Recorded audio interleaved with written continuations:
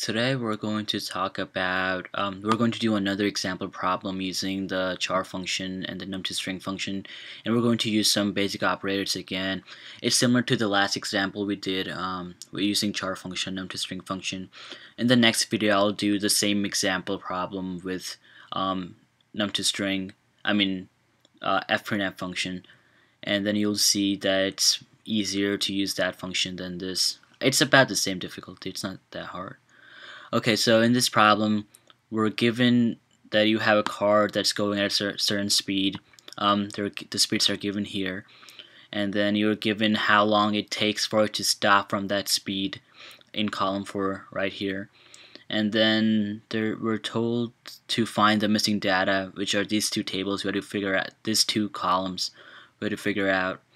Um, and then we're going to use the char and num2string function to make a table that looks like this right here, this table right here, um, right here. So part A of the problem says calculate the missing columns 2 and 3 um, using the first and fourth column. Uh, and then we are going to make a matrix A that contains all these four vectors S, X, A, and T where S is the speed, X is the distance, A is the deceleration, and T is the time.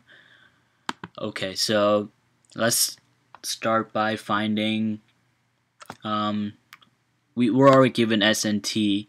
So to find X we're going to need to find A first.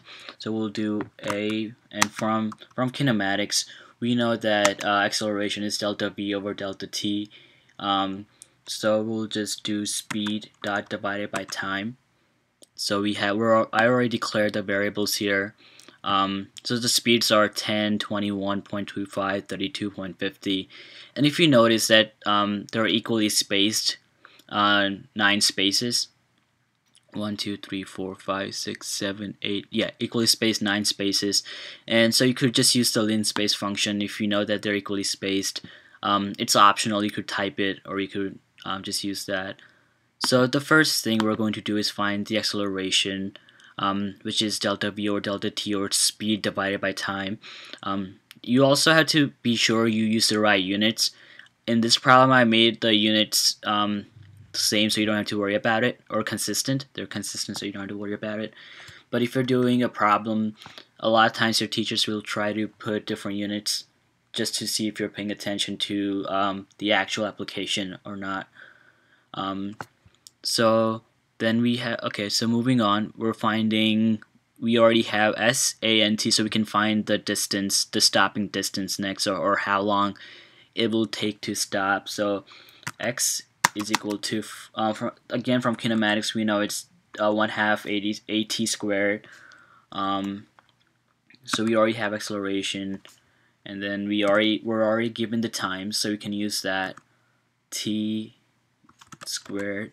Um, uh, be careful that you have to use dot operators here because you're dealing with vectors, uh, not just scalars. So I'm going to run this just to see if we get um, the correct answers. Um, so we should get these two columns. Let's see if we get correct answers. So we get 3.462 for, for acceleration. So, so our answers are consistent. So we can move on to, okay, let's check distance real quick. Should be the same. Um, so the distance is also the same. So, so yeah, we can move on to um, the next part. But before before we move on to the next part, we're told to make one, make it into a one matrix. So we'll just put it together. Um, always make sure you read the question thoroughly because on one of my exams I forgot to graph something because it's a graph and I didn't see it properly.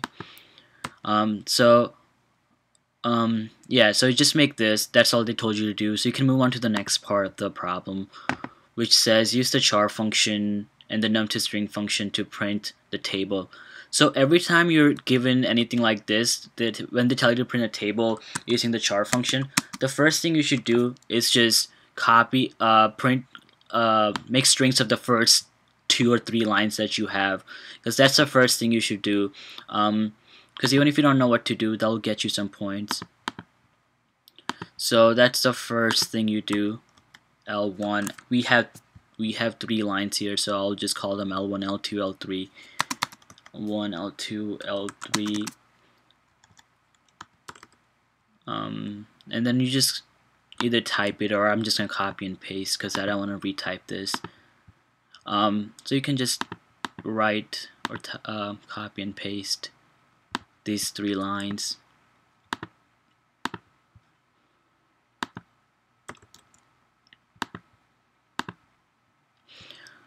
Okay, so now that you have the first three lines, the next part you want to print is the body of the of the table. So that's just these four column vectors. So we have the body. And that's we're going to put that into a single matrix. Okay, so the first thing we want to do is use the num2string function to convert everything into um, into strings so we can use the char function so we're we have four num2string functions in here. One for each um, each of these s x a and t. So they will all go in there. So we have num2string s here.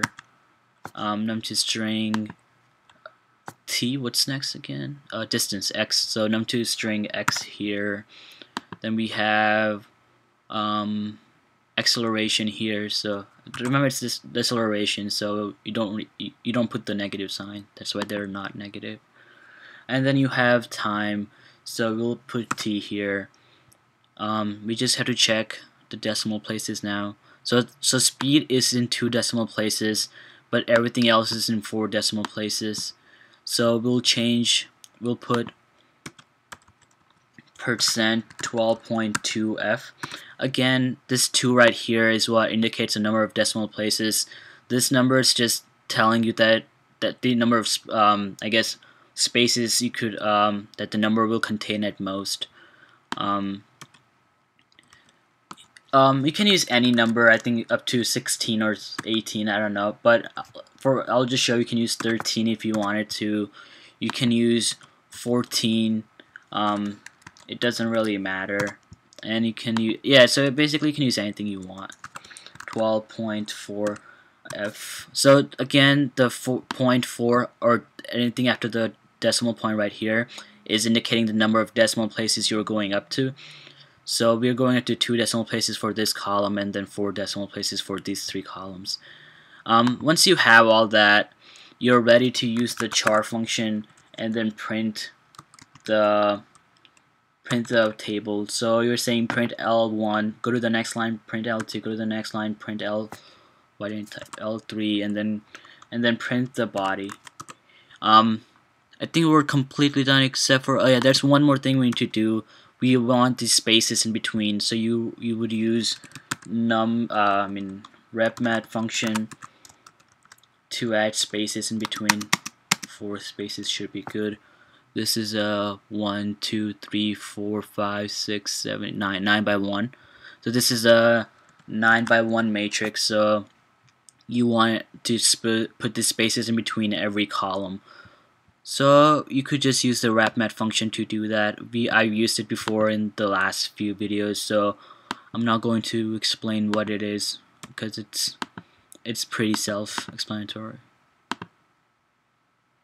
Um, Okay, so um, so once again, you just put everything into the char function to print it into a table, and then if you run this, let's see if we get the table we wanted. Um, yeah, it's basically the table you wanted. If you want to move this over by a little bit, you just make this into a 9 by 2 matrix, so so two columns of that. Um, run this. Okay, yeah, so basically you can play around with it if you want, but in the you, you'll see in the next video when I use fprintf function that it's just much better to use the fprintf function as opposed to the char function, and you'll use fprintf function 9 out of 10 times anyways. So I hope this helped. If you have any questions, leave comments. Thank you for watching. See you next time.